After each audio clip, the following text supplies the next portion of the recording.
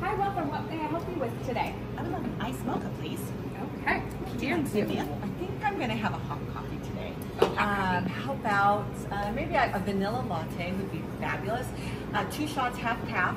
Um, oh, and make it sugar-free, sugar-free vanilla, and only one pump because two pumps is a little too sweet. Oh, do you have soy milk?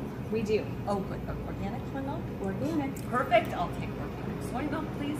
And almond milk, you know. Yes. A little dash of almond milk on top is so delicious. So a splash of almond milk and that would be great.